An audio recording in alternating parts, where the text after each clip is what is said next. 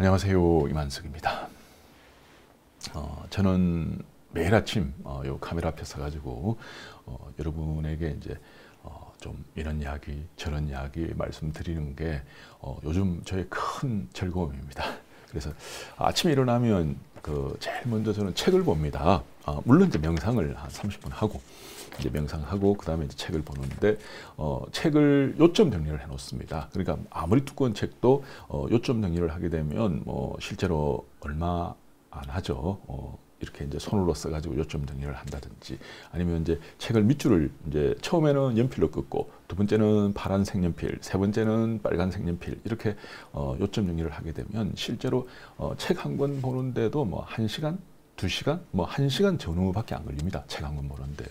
그래서 어, 새벽에 이제 저는 뭐 그렇게 책 보는 걸 되게 좋아합니다. 요점 정리를 하니까 굉장히 빠르게 볼 수 있죠. 특히 이제 녹음을 해가지고 2배속으로 틀면서 눈으로는 책을 보니까 아침에 평균 뭐 네다섯 권 정도를 이제 책을 보죠. 그러면 그 보면서 이제 거기서 어, 오늘 어떤 이야기를 해야 될까 하면서 아이디어들을 어, 저는 얻고 있습니다. 어, 오늘 아이디어는 요겁니다. 요겁니다. 이렇게 어, 적어놨습니다. 고객에게 큰 그림을 먼저 보여줘라. 그 다음에 세세한 걸 설명하면 된다. 어, 이거죠. 자, 우리 조상들은 이제 호랑이를 만났어요. 여러분들이 이제 산에 가가지고 옛날 같은 경우에 우리 조상들이 산에서 호랑이를 만났잖아요. 딱 만났습니다. 그러면 어 호랑이 이빨이 몇 개일까? 어, 호랑이 무늬가 어떻게 생겼을까? 왜 꽁지는 저렇게 생겼을까? 그걸 세세하게 볼까요? 아니면 어 호랑이구나 하고 도망 먼저 갈까요?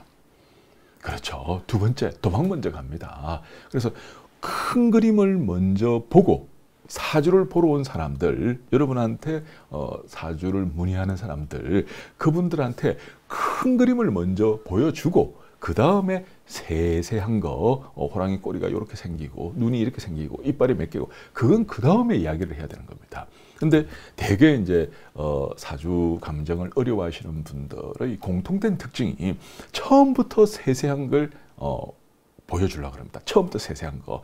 그러니까 딱 사람이 오면 어? 돈 때문에 왔네? 어, 이번에 뭐 7천만 원 돈 날라갔네. 뭐 이런 식으로 처음부터 첫 마디부터 세세한 걸 어, 이야기를 하려고 합니다. 그러다 보니까 어, 그게 만약에 조금이라도 어긋나거나 핀트가 안 맞게 되면 어떻게 됩니까? 뭐 그냥 그 뒤에 상담은 막 완전히 뒤죽박죽이 되고 어, 분위기가 이상해져 버리는 거죠. 그래서 처음에 큰 그림, 큰 그림을 어, 먼저 보여주고 그 다음에 어, 세세한 걸 들어가야 된다. 절대 거꾸로 하면 안 된다. 어, 요걸 어, 오늘 주제로 말씀을 드리겠습니다. 자, 우선 사주를 하나 보겠습니다. 자, 여기에 이제 사주가 보이죠.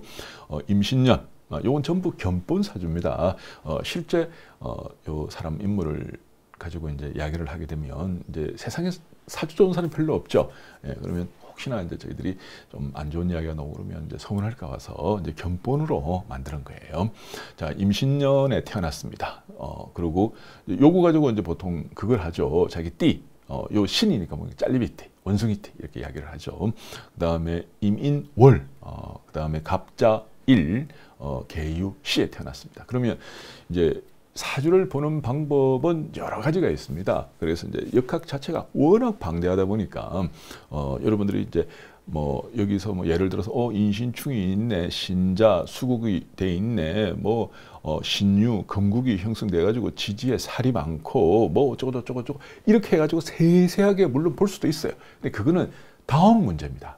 두 번째 문제거든요. 그러니까 첫 번째는 어, 이 사주를 전체적으로 어, 어떤 사주구나 하는 걸 먼저 여러분들이 파악을 하고 어, 그거를 어, 고객들한테 이야기를 해줘야 됩니다. 그래 고객이 수긍을 하죠. 그렇게 해야지 고객이 여러분한테 마음문을 열죠. 그러니까 처음부터 어, 인신충이 있으니까 밑에 이렇게 살 같은 거 여기도 보면 이제 살이 나와요. 어, 뭐 역마, 월덕 이렇게 누지르면 살들이 나옵니다. 어, 요게 뭐 장성, 효신, 기문, 뭐 극각 그러면서 요 이제 살들을 만약에 이야기하게 되면요.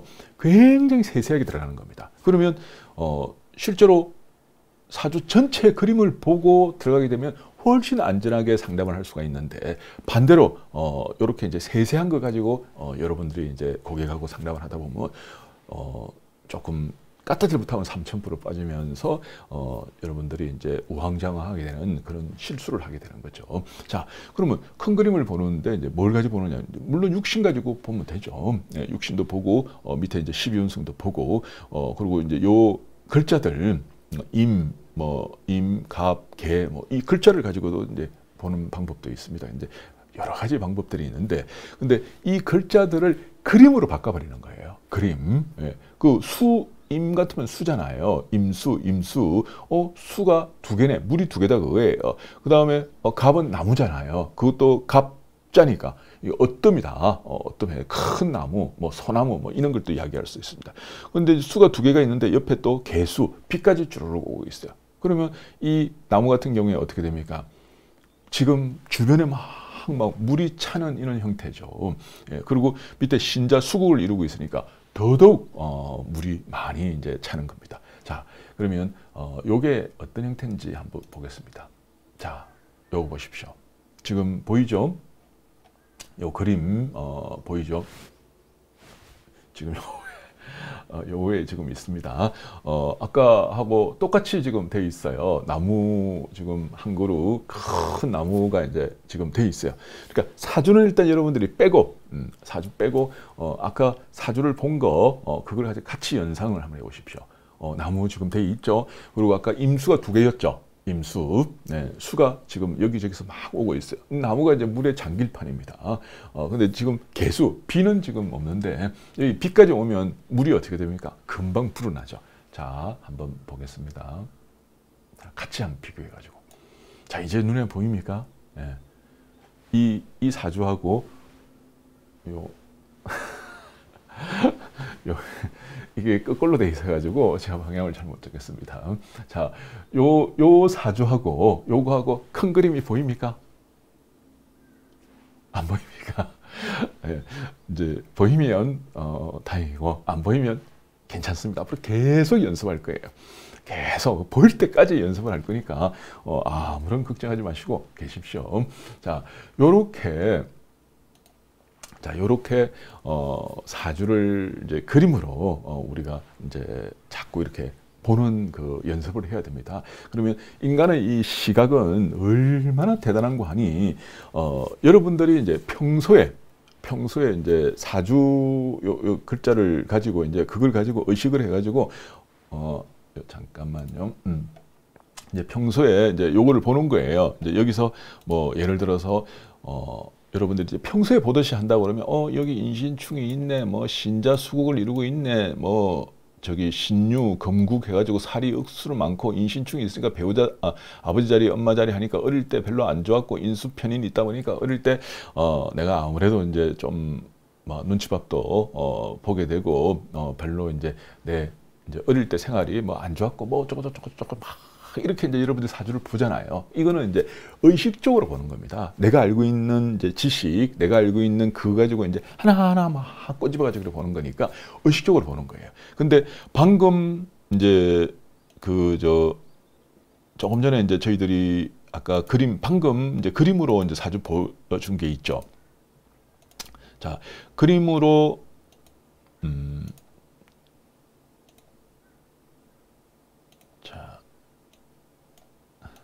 자, 방금 그림으로 요 전체를 보는 거 조금 전에 보여줬죠. 어, 한 번 더 보여드리겠습니다. 음.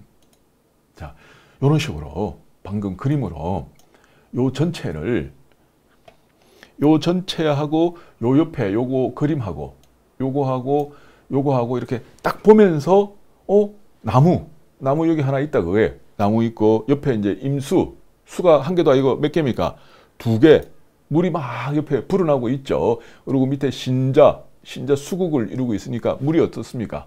물이 철철 지금 넘치죠. 이 나무가 지금 물의 장길판이에요.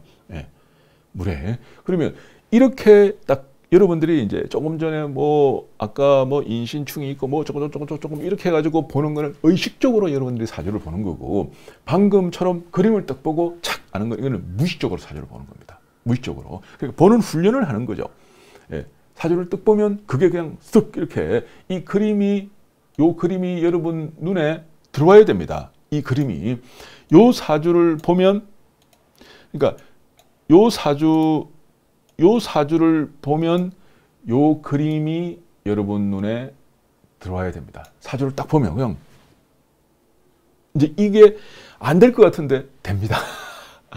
안 될 것 같은데. 예, 그래서 어, 계속 연습을 하면 그러면 요거 해가지고 하나하나 따지는 거는 우리가 의식적으로 쓰다 보니까 우리 인체에서 이제 그 보통 이제 그 이제 뉴런이라고 이제 뇌에 이제 서로 이제 신경을 연결하는 이제 뉴런이라는 어 신결 신경 연결망이 있다 그럽니다. 근데 그 뉴런이 보통 이제 2,000 바이트 이제 2,000 바이트 정도 어, 요 하나 하나 하나 하나 따지면서 사주 보는 거는 이제 2,000 바이트 정도가 움직인답니다. 근데 어 요걸 보고 요 사주를 보고 바로 그림으로 여러분들이 연상을 하잖아요. 예, 바로 그림으로 어 이거 보고 이 그림을 여러분들이 딱 생각하는 거 이거는 이제 무의식적으로 딱 보고 바로 딱 이렇게 생각하는 거거든요. 요거는 이제 4천억 바이트. 하나는 2천 바이트.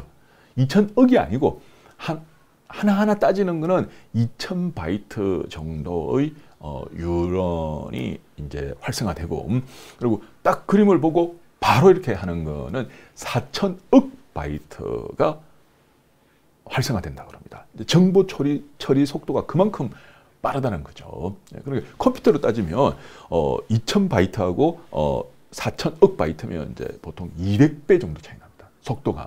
예, 그래서 어 제가 계속 여러분한테 어 요 하나하나를 이제 따지면서 뭐 여기 살이 뭐가 있을 때 뭐 절이 있을 때 요 어 저기 어릴 때는 절이 있으니까 부모님하고 뭐 떨어져 살고 뭐 그런 거 있잖아. 옛날에 우리 그 저기 뭐 큰 집에 가가지고 내가 뭐 어, 중학교 고등학교를 다닌다든지 뭐 조금 이제 떨어져 살고 어, 어릴 때 이제 내가 부모 덕을 별로 못 보고 뭐 내 딴에는 머리가 좋았는데 어뭐 형 한 형이 대학 간다고 내가 이제 대학을 못 갔다든지 뭐 이런 식으로 해가지고 막 이제 여러 가지 억울하고 분한 어, 그런 이제 일들을 당한다. 이렇게 이제 여러분들이 하나하나 생각하면 그건 2천 바이트를 어, 활용하는 거고 그림을 보고 큰 그림을 보면서 딱 사주를 하는 거는 4천억 바이트, 4천억 바이트를 합니다. 그래서 어, 우리가 이제 사주를 볼때 어, 이제 여러분들이 이제 인간의 능력이 특히 시각 능력이 있죠. 이게 얼마나 뛰어난 관이 어, 요 그림 한 장 있죠. 요 글자들 요 요거 한번 그냥 딱 보면서 어, 우리 인간의 시각 능력이 3천만 개. 300뭐 3천 개도 아니고 3천만 개의 뉴런이 활성화된답니다. 저 사주 그림 하나 딱 보는데 요거 하나 딱 그냥 보고 이야기하는데 요거 그냥 딱 보는데 보면서 3 3천만 개, 3천만 개의 유런이 활성화된다 그럽니다. 그러니까 우리가 사주를 하나하나 따지면서 풀어야 되겠습니까? 사주를 딱 보고 바로 큰 그림을 파악을 해야겠습니까? 그게 월등하게 속도가 빠르거든요. 네.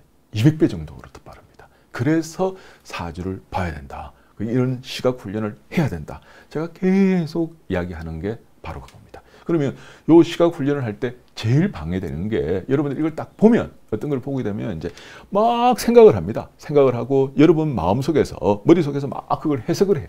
어, 요게 있으니까 어쩌고 저쩌고 저쩌고 하면서 막 해석을 하거든요. 그러니까 잘 안 되는 겁니다. 왜 이게 사주를 그냥 딱 보고 그냥 바로 이제 여러분들이 인식을 해야 되는데 그냥 보고 있는 그대로 봐야 되는데 거기에다가 여러분들이 이제 이런 이야기 넣고 저런 이야기 넣고 막 여러분들이 알고 있는 모든 이야기들을 자꾸 막 중간중간에 막 넣는 거예요. 그러니까 보는 게 방해가 되는 거죠. 네. 그래서 어 우선은 이제 사주를 볼 때 그냥 자꾸 있는 그대로 보세요. 그리고 그걸 그대로 이야기하는 연습을 하세요. 이제 자꾸 그렇게 말씀드리는 이유가 어 여러분도 모르게 무의식적으로 어, 생각들이 자꾸 끼어들어요. 중간에 이렇게 쏙쏙쏙쏙 들어옵니다. 예, 그래서 어, 인간의 그 생각이 표정이 있죠. 생각이 바뀔 때마다 표정이 바뀌거든요. 하루에 6만 번 정도 인간은 이제 6만 번 생각을 하고 있답니다. 하루에 6만 번.